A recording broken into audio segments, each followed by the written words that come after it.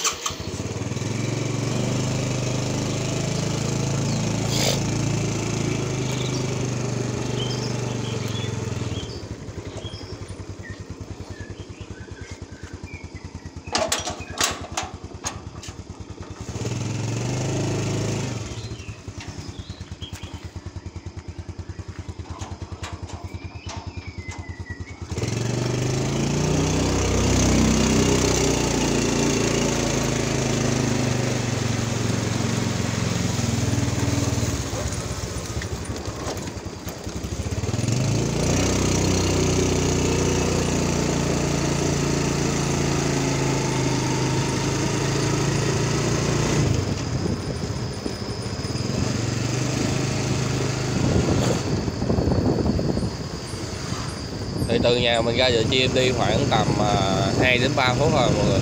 Thì cũng rất là gần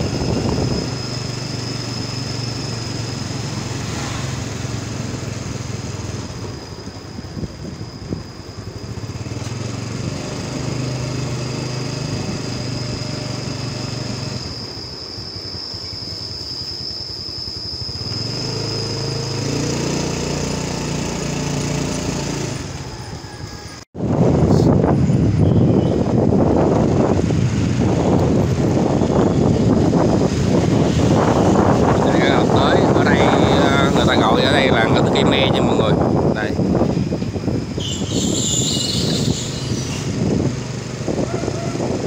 thì chạy thẳng khoảng tầm 2 km nữa là tới khu du lịch Đại Nam. Cổng sau đây nếu mà đi thẳng luôn á thì là lên khu du lịch Đại Nam còn mình mình rẽ bên này rẽ bên trái. Thì à, ở đây nó có hai cái bữa chim. Thì bình thường á, mình sẽ qua cái bữa chim à, chim vũ. Là cái bữa chim mình hay à, ghé vào mua đồ nhiều nhất. Còn cái bữa ở phía trên này nè thì mình rất ít là mua không thích mua vì ở đây bán chim rất là mát.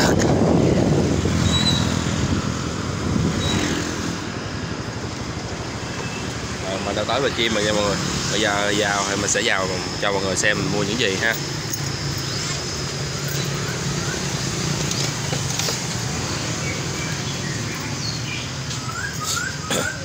Chị lấy em một ký giới nha chị lon sâu đây, giờ mình sẽ vào tham quan thị chim cho mọi người xem ha. Thì không biết bên này có gì mới không?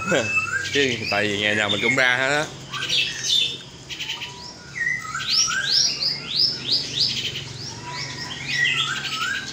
Sâu đầu đỏ, hồng hành quýt cô than đất. Than đất than đất truyền hồ mi.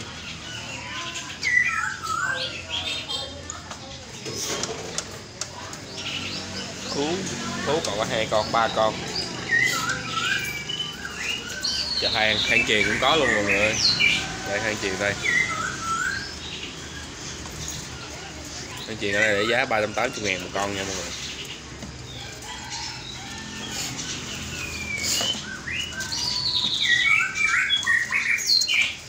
Thì ở vựa chim cho nên mình không nói được nguồn gốc của những con chim này ở đâu. À, cái này giống hang chợ hang máy nha mọi người rồi nữa. Quả tiễn. À, cắt cúc đó nè mọi người.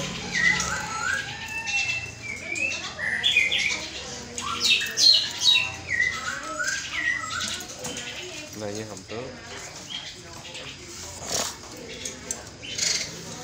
Cu nè. À, chất màu má trắng nè. Đèn bẹp. Này là bị bỏi nha mọi người bù trao quẹt. Ừ, Hình như ở đây có đà đà. Ờ đúng rồi mọi người có hai con đà đa nữa này mọi người. Đà đa này thường là đà đa mua về ăn thịt thì ok còn về chơi thì rất là khó nha mọi người.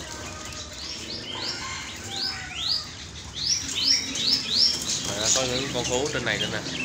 Nhưng như hôm qua chị nói là chỉ có giờ một con thú da bò mình bắt xuống cho mọi người xem hậu qua mình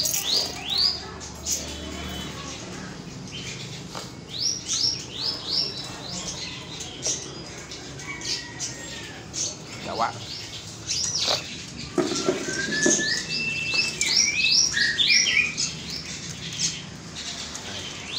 bây giờ mình thấy da bò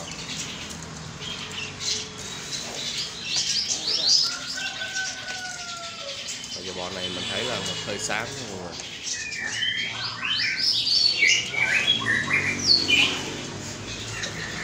thôi, bây giờ thì mình đã tính tiền mình giờ cho những chim con mình ăn đây.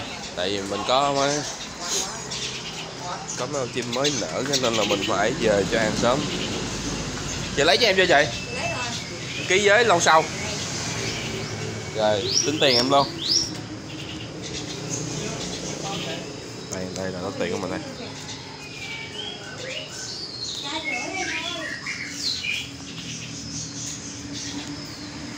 Đừng em chị.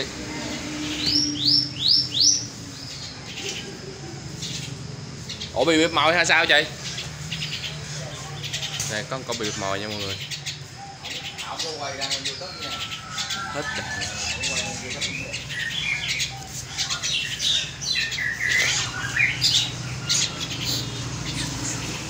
chiên chiên. Đây em ơi hả? Bán rồi để kín đầu gà nữa. Bữa ra đi đi thấy mới bắt nó tơn ngày nhìn thấy biết liền chứ.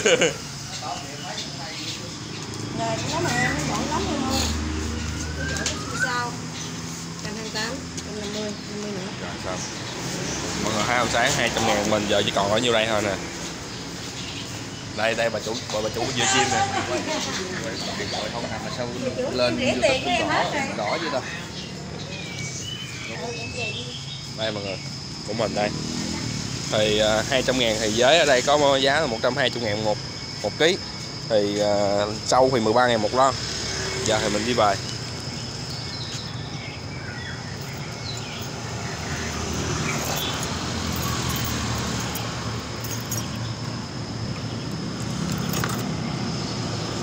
Đây mọi người thấy không?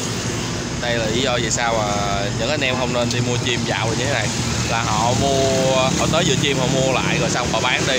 Thì chắc nghĩa là mọi người cũng biết là giá nó như thế nào rồi ha. Đây mọi người thấy không? Anh, anh đó đã đang đang ở trong bữa chiều bắt những con chim ra mà bán. Và thường thường á những anh này á, thì thật sự mà nói thú anh mấy anh này là toàn là phú máy không nha mọi người.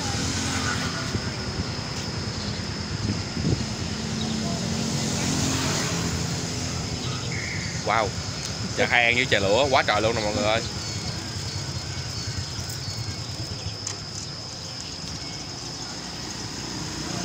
Không, chờ lửa không à? Máy rồi trống gì có đủ. Một rổ luôn. Ẩm luôn, rổ này chạy giờ được nè. Lửa không à lửa không à? Có hang nữa. Hang bên này nè.